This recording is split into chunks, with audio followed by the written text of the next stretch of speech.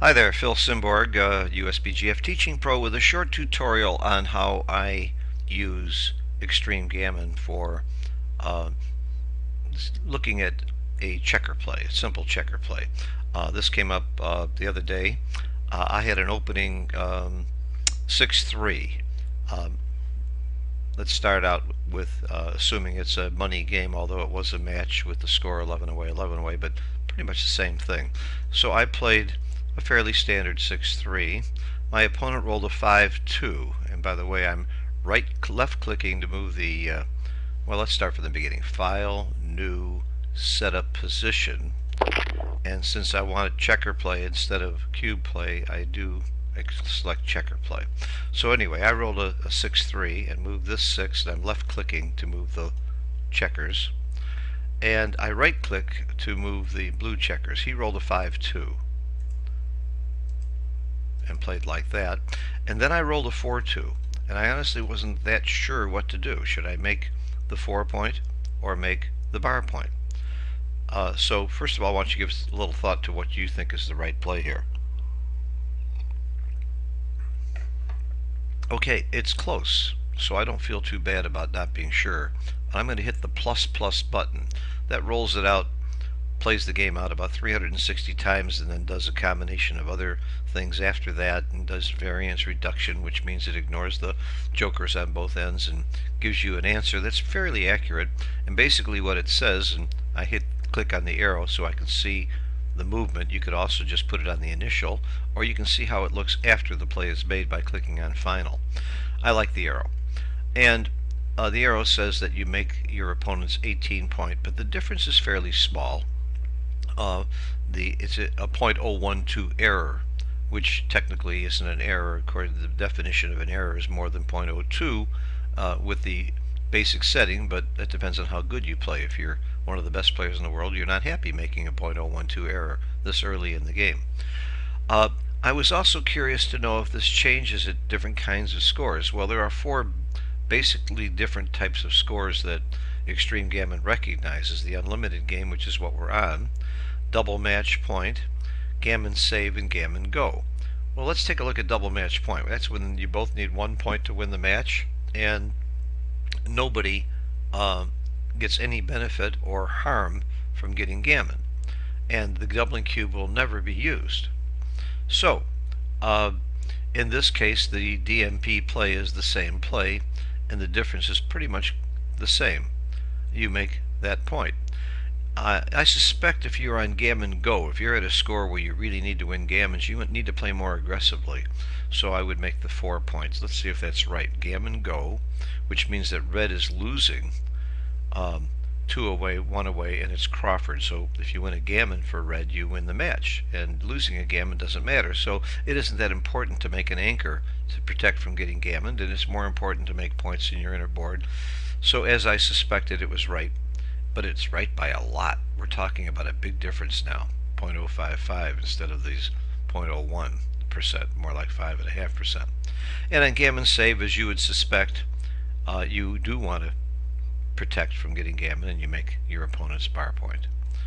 So that's a good way of looking at a play from various scores. Now, I again, going back to the original position uh, of unlimited games uh, or money game, uh, and seeing that the answer is this close, in positions like this, usually plus plus is pretty good and you can rely on it, but the really the the best way to really be sure about a play and how big a difference there is in a play is to roll it out.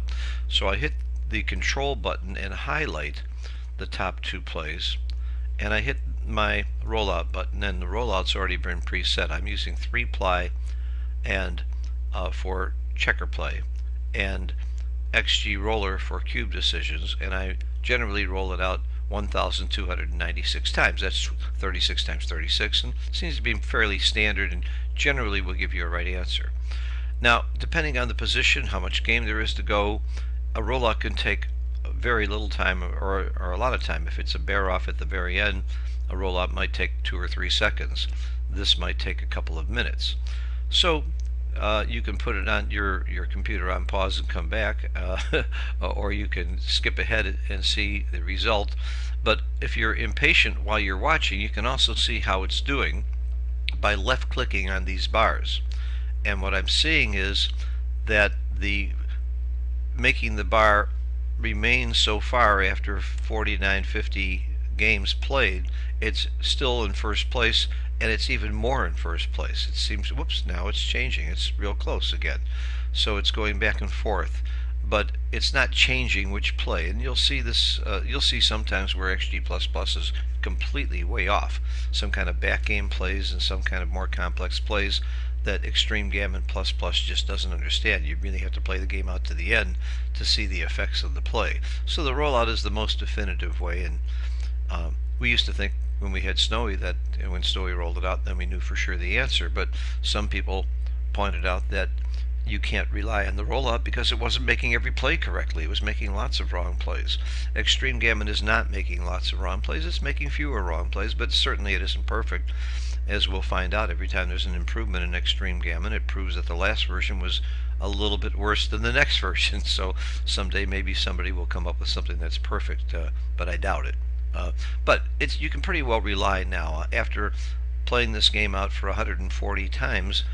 It's still uh, right to make the bar and by just a little bit, not by a lot. Now again, it could change, but for my level of play, I could care less uh, if it's uh, right by 0.001 or 0.012, I just know it's very close, and then if I made the other play, I wasn't doing that bad. It's just okay to make the other play, especially at my level of play, because I'm not playing where I'm trying to be perfect, and by, nobody is perfect. The best players are still having PRs of uh, 0.0, you know, 2 or 3. Uh, so they're not, nobody's perfect, and I don't think anybody ever will be, including Extreme Gammon. Anyway, uh, this is how I evaluate. And look, it's getting actually closer and closer. It's less than less than 1% now, the difference between the two plays. So at this point, I would just give up and say, okay, uh, making the bars a little bit better. And I can cancel or I can just interrupt it. And by the way, this gives me an idea of how confident Extreme Gammon is in the in its rollout. Uh, this is kind of yellowish, which, as you can imagine, is not strongly confident. If it's really confident and it's really sure that it got the right answer, this would be a very dark green. That's the confidence level indicator. And also, when you put your hand over it uh, or your cursor over it, you can see pop up telling you what the confidence level is. And uh, the chances of it being the best play, uh, for example, of the, this turning out to be the best play is 31%. So that means that 69% of the time, roughly 68.1% of the time, it's likely that the first play will end up being the first play after we get to what it thinks is 100% confidence. I hope this gives you a little bit of insight into the use of XG. If you don't have XG and you're a USBGF member, you get a 20% discount on it going to extremegammon.com. Um, and uh, uh, it's well worth the money. It's the best tool out there. It's 10 times faster than Snowie. Snowie is $400. Extreme Gammon's around 60 uh, and um, there's a mobile app called XG Mobile that you can use on the uh, on iPhone and it's being uh, worked on to be able to be available on Android. We have no idea how soon. Um, and I do also sell a video. Uh, contact me for $25 and I donate a portion of that to the USBGF. Um, and um, it, it's a tutorial that has been approved by uh, Xavier, who is the developer of uh, uh, of Extreme Gammon, and it takes you. It's a one hour roughly that takes you through all of the settings and the use of of this uh, very very fine program. Hope this was helpful to you. And by the way, if you're not a member of the USBGF, uh, join and you'll see about 150 videos and I post two or three uh, every week um, that uh, give you insights into how to use the program and how to understand backgammon both cube and checker play and I get a lot of help from outside experts as well so thanks for watching hope this was helpful or interesting to you and uh, maybe you learned something about this play maybe you didn't but maybe you learned something about using extreme gammon there's a tremendous amount of other tools that are available to us in Extreme Gammon. Thanks for watching. Bye bye.